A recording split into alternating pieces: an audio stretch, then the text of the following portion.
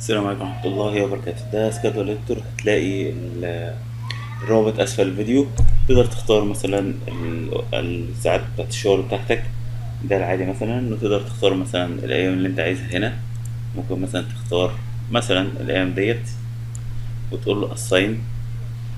في أيام تانية مثلا زي الساتردي ممكن تقول له ساتردي أهيت.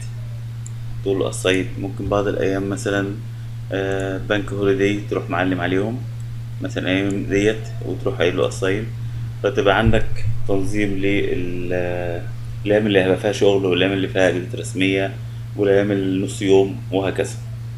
والميزة إن أنت تقدر تعمل import للمعلومات ديت أو تعمل لها export بعد ما تخلص. هتقول له export file